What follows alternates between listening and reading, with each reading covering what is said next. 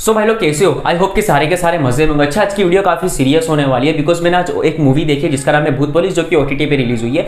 सबसे पहले मैं बात करना चाहता हूँ इस मूवी के बारे में। अच्छा इस मूवी का नाम है भूत पुलिस मतलब नाम से ही पता चल रहा है कि हमको हॉरर कॉमेडी देखने को मिलने वाली है। अच्छा सबसे पहले बात करता हूँ इसके हॉरर के बारे में। अच्छा इसका हॉरर इतना खतरनाक है, आप इसके भूत को देख लोगे तो आपका भूत पे से विश्वास उठ जाएगा। एंड आपको ऐसा लगेगा इसके भूत ने आपके भूत का चूतिया काट दिया। मतलब आपको ऐसा फील आ जाएगा, इतना खतरनाक आपको हॉरर सीन देखने को मिल जाएँगे कि आपको भूत पे से विश्वास ही उठ जाएगा। आपको ऐसा फील आएगा कि भाई अगर भूत ऐसे होते तो घंटा में चूतिया कि मैं इसे भूत से डरता हूँ। एंड बात करते इसकी कॉमेडी के बारे में। अगर इसकी कॉमेडी इतनी आउटस्टैंडिंग इतनी आउटस्टैंडिंग है कि आपको हंस हंस के रोना आ जाएगा रो रो रोते रोते आप हंस दोगे मतलब आपको पता नहीं चलेगा हंसना या रोना आपको सीरियसली पता नहीं चलेगा। इतनी आउटस्टैंडिंग मूवी है ये। मतलब मैं क्या ही बात करूँ। अच्छा इस मूवी के बारे में मतलब मैं रिव्यू देना नहीं चाहता मतलब मैं रिएक्शन दो रिव्यू तो मेरे को ये भी पता नहीं चल रहा। अच्छा चलो बात करते हैं इस मूवी के बारे में। थोड़ी बहुत बात करने की कोशिश करूँ। देखो, इस मूवी के बारे में मतलब मैं क्या ही बताऊँ। दो भाई रहते दोनों भाई तांत्रिक रहते झूठ मूठ के भूत पकड़ते अर्जुन कपूर को असली का भूत पकड़ते तो असली का भूत कैसे पकड़ता है, वो आपको देखना पड़ेगा मूवी के अंदर। एंड देखो, सबसे पहले मैं बात करना चाहता हूँ इस मूवी के मतलब मेकर्स के बारे में। अच्छा इसके मेकर्स के बारे में मतलब मैं क्या ही बात करूँ? उनको पहले से ही पता था कि देखो, ये मूवी को हमको ओटीटी के ऊपर रिलीज़ करना है। तो हम कुछ भी अगड़म बगड़म तिगड़म चौगड़म चूतियापा बना के हम ऑडियंस को दिखा देते हैं, हमको पैसा मिल जाएगा और हमको क्या ही करना है। सिर्फ़ मतलब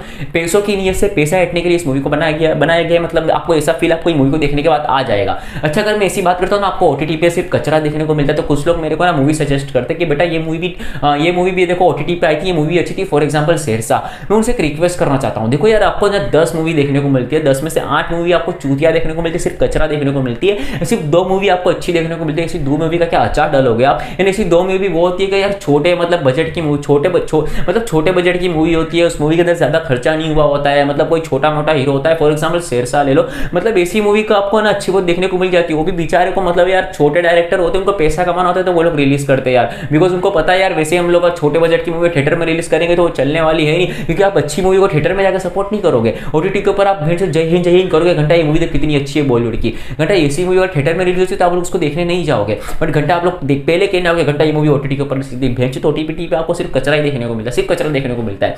अच्छा इस मूवी के बारे में मैं क्या ही बात करूँ? इस मूवी के स्टारकास्ट की बात करूँ यार मतलब क्या अर्जुन कपूर, सैफ अली खान, हमारी टिकटॉकर मतलब मैं क्या ही बात करूँ? अच्छा टिकटॉकर तो क्या मतलब टिकटॉकर मूवी में आएगी तो क्या हाल होगा? मूवी का समझ ही सकते हो। अर्जुन कपूर ने ठीक ठाक काम किया है, बात करें सैफ अली खान की। देखो, एक सैफ अली खान एक ऐसा इंसान है जो इस मूवी को अपने चार कंधे पे आगे ले जाने की कोशिश करता है बट देखो क्या कर सकते सैफ अली खान के सिर्फ़ दो ही कंधे तो इस मूवी को ज़्यादा आगे तक लेके जा नहीं सकता। बिकॉज़ इस मूवी में ना ही अच्छा कोई कंटेंट है, ना अच्छी स्क्रिप्ट है स्टोरी अच्छी हो सकती थी, अगर इसके मेकर से ना अच्छा बनाने की कोशिश करते ना तो हमको जैसे हमने स्त्री देखने को मिली थी ना तो इस टाइप की कोई अच्छी मूवी देखने को मिल सकती थी हमको। बट घंटा ऐसा कुछ नहीं होता बिकॉज़ इसके मेकर्स को सिर्फ़ पैसा छापना था। देखो इस मूवी में ना देखो, देखने लिया कि सिर्फ़ एक ही चीज़ है कि भाई अगर कोई ऐसा इंसान होगा जो एक साल में, दो साल में, तीन साल में सिर्फ़ एक मूवी देखता है, सिर्फ़ उसको इंजॉयमेंट से फ़र्क पड़ता है, उसको कोई लॉजिक देखना पसंद नहीं, कोई एक्स्ट्रा ऑर्डर कुछ यूनिक चीज़ देखना पसंद नहीं तो वही इंसान इस मूवी को देख सकता है। अगर ऐसा चूतिया इंसान होगा ना, जो हर मूवी में लॉजिक या फिर मतलब ऐसा कुछ यूनिक ढूँढने की कोशिश करता है तो ऐसे इंसान के लिए मूवी कतई नहीं बनेगी। आप देखना है मत प्लीज़ मत देखना। आप आराम से इस मूवी को स्किप करके दूसरी मूवी का वेट कर सकते हो। और मेरे को मूवी ने मेरे दिल और दिमाग मेरे लीवर फेफड़े में काफ़ी खड्डे किए। भूत पे से मेरा विश्वास उठ गया है। मैं घंटा बहुत रोया हूँ इस मूवी को देखने के बाद। मेरा यही एक्सपीरियंस था। सबको वीडियो अच्छा लगा तो लाइक करना शेयर करना कमेंट करना। मिलते हैं नेक्स्ट वीडियो में। तब तक के लिए गुड बेटा टाइम लव यू चैनल भी सब्सक्राइब करके जाना। Bye bye